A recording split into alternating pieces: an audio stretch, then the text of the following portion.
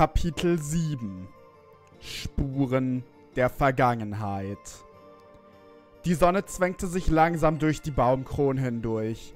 Ein roter Schein begann den Wald zu erleuchten.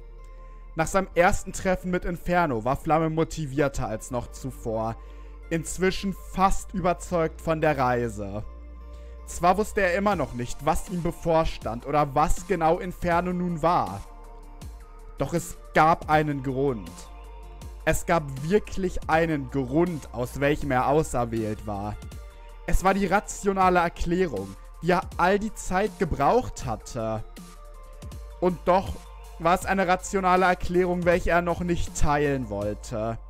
Zwar vertraute er Sol und Galoppa, doch gleichzeitig blieben ihm selber zu viele Fragen offen. Inferno hatte versprochen, ihm mehr zu erklären, wenn er Flamme irgendwann von Angesicht zu Angesicht gegenüberstehen könnte. Auch wenn das Vulpix nicht ganz verstand, wie dies gehen sollte, da laut seiner eigenen Aussage Inferno schließlich er selber war. Mehr tun als abwarten konnte er allerdings nicht, um dies festzustellen. Irgendwie würde diese Seelenglut einen Weg finden. Allerdings bis er selber nicht alles erklären könnte, würde er die Existenz des inneren Wesens für sich behalten.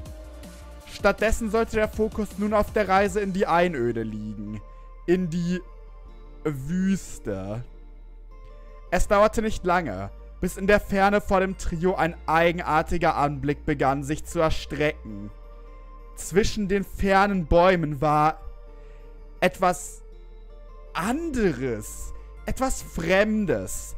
Nicht wie all die Birken und die Tannen und die Eichen und die Buchen und all die anderen Bäume des Waldes. Ist das diese Leere? Sind wir bald da? Ruhig nickte Galoppa. Ja, passt auf, wenn wir uns nähern. Das grelle Licht wird für euch sehr ungewohnt werden. Grelles Licht? Warum ist es da heller als hier? Galoppa wirkte etwas amüsiert von der Frage gab jedoch trotzdem eine sachliche Antwort. Naja, es ist eben kein Wald. Dort stehen keine Bäume, die das Sonnenlicht abhalten. Dort gibt es keinen Schatten. Selbstverständlich würde das Element der Reisenden dieses Hindernis für sie kleiner machen, als es für viele andere wäre. Doch trotzdem würde die Hitze eine Herausforderung werden, wenn man nichts derartiges gewohnt war. Inzwischen erblickten auch die beiden Brüder jenen Ort, welchen viele ihrer Freunde und Bekannten noch nie überhaupt erblicken durften. Und hier sollen wir die nächsten 24 Stunden verbringen? Naja, wenn wir nicht zu langsam sind, schaffen wir es in 19. Aber in jedem Fall die Nacht, ja. Und guck mal. Auch wenn es durch die Ladung, welche auch ohne Fukano noch schwer genug war, etwas schwierig war, erhob Galoppa einen Huf und zeigte in eine Richtung leicht, re leicht rechts von sich. Guckt mal nach da hinten. Ich weiß nicht, ob ihr etwas erkennt, ohne die Sonne so gewohnt zu sein wie ich. Was der Lieferant zuvor gesagt hatte, war durchaus die Wahrheit. Mit etwas zusammengekniffenen Augen brauchte Flamme einen Moment, um sich irgendwie an das grelle Licht zu gewöhnen. Wirklich etwas sehen konnte er auch nicht dort, wo angeblich etwas zu sehen sein sollte. Sein Bruder schien allerdings weniger Probleme zu haben. Irgendetwas Graues ist da. Sieht aus wie ein Felsen. Was genau ist das? Galoppa wirkte recht überrascht, aber auch zufrieden. Dass tatsächlich einer seiner Begleiter das Landschaftsmerkmal entdeckt hatte. Ein Felsen würde ich es nicht nennen. Es sieht nur so aus, da es so weit weg liegt. Aber das, was du da hinten siehst, ist der Vulkan.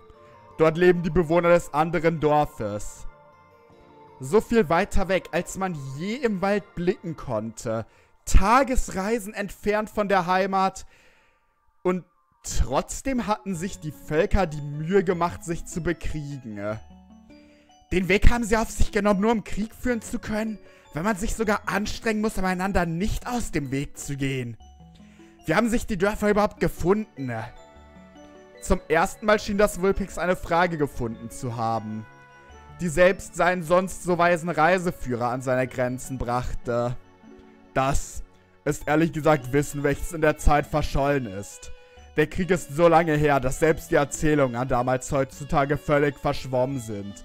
Alles, was vorher geschehen ist, ist ohnehin ferner als die Sterne am Himmel. Antworten darauf werden wir wohl nie finden. Mysterien der eigenen Welt, verloren in alten Zeiten. Irgendwie fiel es Flamme schwer zu glauben, dass es wahrlich nicht möglich wäre, eine Antwort auf diese Fragen zu finden. Doch auch wenn sich in ihm eine innere Neugier zeigte, wusste er, dass es deutlich Wichtigeres gäbe. Nämlich erst einmal diese Wüste zu durchqueren. Wäre der Stamm des Waldes in jeglicher Form ein anderer, als er es letztlich ist, würde diese Reise um ein Vielfaches schwieriger werden. Allerdings, zum Glücke aller, waren es Feuer-Pokémon, die die Wüste hier durchquerten. Dieser Ort war auch der alleinige Grund, weshalb Galoppa die Transporte ins Vulkandorf und von dort in seine Heimat übernahm. Die Pflanzen-Pokémon des anderen Dorfes hätten immense Schwierigkeiten bei der Durchquerung der Wüste. Die einzige Schwierigkeit, die jedoch in dieser Gruppe auftrat, war die Laune mancher. Ich hatte mich so darauf gefreut, den Wald zu verlassen. Ich dachte, ich könnte etwas Besonderes sehen, was nur die wenigsten unseres Stammes hier sehen würden. Tust du das nicht? Nun, es sind vielleicht nicht die wenigsten, aber doch genug, die es noch nie haben. Es ist wirklich ein Privileg, dass du hier sein darfst. Das Problem ist nicht, dass zu viele gesehen haben, sondern dass es nichts Besonderes ist. Was ist denn alles das hier? Sand und nichts als Sand. Wenn man Glück hat, sieht man in der Ferne sogar mal einen Stein. Galoppa wirkte anders als Sol selber, recht amüsiert. Naja, was hast du denn erwartet? Es hat Gründe, dass wir im Wald leben und nicht hier. An diesem Ort könnte man vermutlich nicht einmal leben. Dieses Mal musste auch Flamme innerlich zustimmen. Leben an einem Ort wie diesem wäre selbst ihm zu langweilig. Und Flamme war das Pokémon, welches den Gedanken eines großen Abenteuers von Anfang an verabscheut hatte. Um sich hier nicht zu langweilen, musste man sich beinahe ein Spiel daraus machen, irgendwie zu versuchen, etwas Besonderes zu entdecken. Und wenig überraschend war das Spiel eine Zeitverschwendung, da es nichts Besonderes zu entdecken gab. Zumindest nicht in der Ferne. Erst als Flamme sich so versuchte abzulenken, bemerkte er das seltsame Gefühl, welches von seinem Beutel auszugehen schien. Der Osten, eine hohe Düne, war, wohin das Gefühl des Wulpix zu ziehen schien. Nahezu unbewusst driftete er vom eigentlichen Weg ab, was auch Galoppa auffiel. Wir wollen keine Umwege nehmen, Flamme. Die Wüste ist öde genug, hier geht's lang. Kurz stoppte sich der Krieger, unsicher, ob er etwas sagen sollte. Aber dieses Gefühl musste vom Forstkristall ausgehen. Und wenn es das wirklich tat, dann konnte es doch nicht unwichtig sein. Es war definitiv ein Argument, welches auch seine Begleiter überzeugen musste. Ich weiß, der Vulkan liegt nicht dort, aber der Forstkristall. Es fühlt sich genauso an wie bei der Prüfung, als es mich zur Höhle geführt hat. Irgendwas muss dort hinten sein. Ganz wie erwartet wirkte Galoppa nicht sonderlich glücklich mit dem Gedanken, die Düne zu untersuchen. Doch gleichzeitig wollte er nicht dem Kristall widersprechen. Naja, wenn das so ist, aber wir gucken nur kurz. Wenn dort nichts ist, wie überall in der Wüste, gehen wir weiter. Wir können nicht zu viel Zeit verschwenden.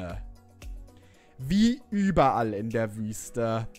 Galoppa war sich offensichtlich sehr sicher, dass dieses Gefühl nichts zu bedeuten hatte. Aber Flamme war sich sicher. Er vertraute völlig in diesen Stein. Dieser Gegenstand war, was ihn auserwählt machte.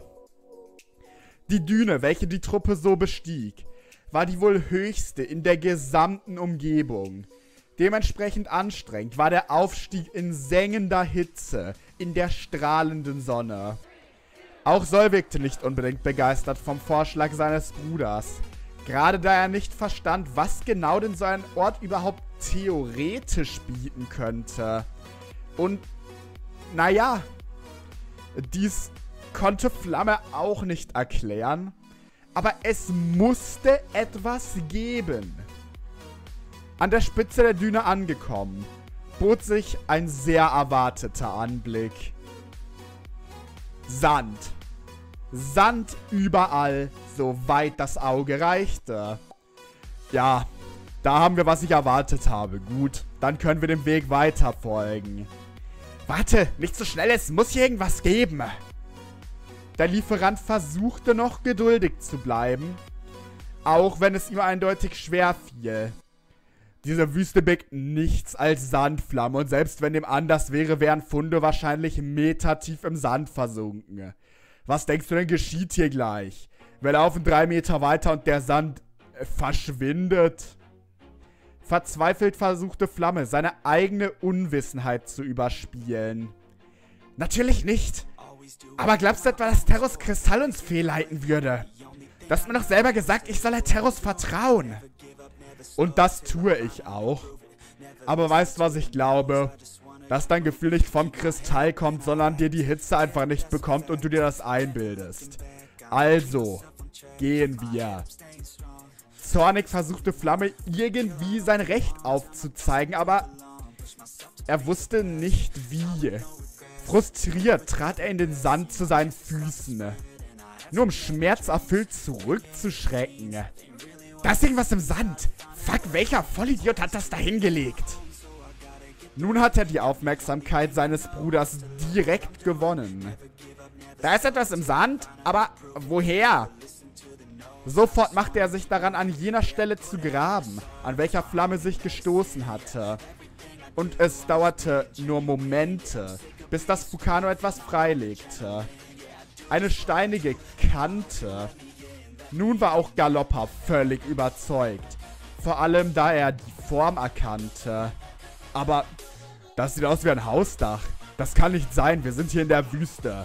Hier kann es doch keine Häuser geben, dafür müsste hier jemand gelebt haben. Nun wieder von seiner schmerzenden Pfote abgelenkt, blickte auch Flamme zum Gegenstand, welcher dort verschollen im ewigen Sand schlummerte. Galoppa hatte recht. Abgesehen vom Material sah diese Kante genauso aus wie jene der Dächer ihres Dorfes. Aber das hieße, dass es hier wirklich einmal Leben gegeben haben musste. Doch selbst wenn es so war, weshalb hatte der Kristall sie hergeführt, um dies zu entdecken? Es hatte keine Bedeutung für die direkte Reise. Aber wenn es vielleicht unter dem Sand noch mehr Häuser gibt, dann könnte das heißen, dass es hier irgendwann auch ein Dorf gab. Wäre so etwas irgendwie vorstellbar? Ein drittes Dorf hier zwischen den anderen beiden? Wortlos starrte der Lieferant auf das Gebilde, ohne zu antworten. Er hatte mit einer gewöhnlichen Reise ins Vulkandorf gerechnet. Jedoch nun etwas gefunden, das je nach wahrer Bedeutung vielleicht Geschichte neu schreiben könnte. Ich, äh, eigentlich würde ich Nein sagen, aber dieser Fund spricht anders. Warum auch immer Terrus uns dies zeigen wollte. Ich werde sicher gehen, dass es weiter untersucht wird. Soll Flamme, lasst uns für heute weiterreisen. Aber ich werde beiden Dörfern von unserem Fund berichten. Damit wir vielleicht Nachforschung oder sogar Ausgrabung starten können. Siehst du, also war es doch gut, dass wir hergekommen sind. Diese Art von Selbstgefälligkeit war eindeutig nicht, was Galoppa gerade für sinnvoll erachtete. Irgendwelches Recht oder Unrecht haben ist gerade wirklich nicht wichtig. Wenn es wirklich ein drittes Dorf gab, dann wäre alles eine Lüge, was unsere Dörfer vermitteln, Flamme. Es geht hier um so viel mehr. Das hier könnte der erste Schritt zu einer verlorenen Vergangenheit sein. Der erste Schritt zur vollen Wahrheit. Während Sol ebenfalls unsagbar begeistert von dem Fund wirkte, war Flamme eher genervt. Erst hatte Galoppa an ihm gezweifelt und jetzt, wo er seinen großen Fund gemacht hatte, diskreditierte er ihn komplett. Aber sich zu beschweren hatte wohl auch keinen Sinn. Stattdessen verließ die Gruppe die Düne wieder und hinterließ ihren Fund fürs Erste. Geschichte könnte neu geschrieben werden. Und dies alleine durch Flammes Fund. Aber vielleicht dürfte er sich auch nicht selber den Ruhm dafür geben. Immerhin hatte Terrus ihn an diesen Ort geführt, nicht sein eigener Instinkt. Aber egal wäre es ohnehin. Denn noch stand in den Sternen, ob das Vulpix überhaupt je erfahren würde, wie die Bewohner seines Dorfes mit dem neuen Wissen umgehen würden. Denn es war immer noch das erste von vielen Zielen, welches sie bald erreichen würden.